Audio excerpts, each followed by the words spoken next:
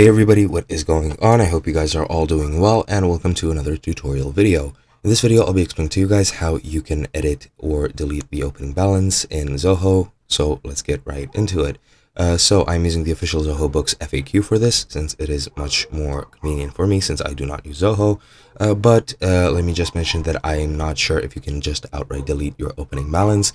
Your opening balance needs to be on your account. However, if you're searching for how to delete it, if you've uh, entered it incorrectly, you can edit it. So let's get right into it. Uh, but yeah, actually, now that I see it, there is a trash can button. Let me just zoom in really quickly. As you can see here, there is uh, a trash can next to the edit button. You can just click that and it will, as far as I know, delete your opening balance.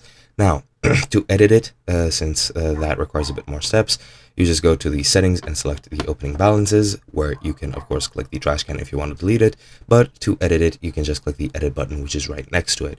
Then when you're there, you can click import to import balances of your accounts receivable and payable, and then you can enter the balances for your bank accounts. Then you can click an account type, which is asset, expense, or liability, or to enter their debit and credit balances. Click continue after entering all of them and verify all the balances in the next screen. And once you do that, you can click confirm.